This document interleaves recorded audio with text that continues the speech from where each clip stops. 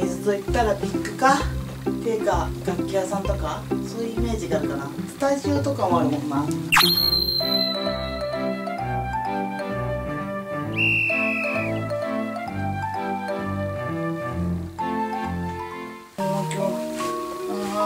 疲れたよ。今日一日中。いろんなとこもあってさ。ああ終電。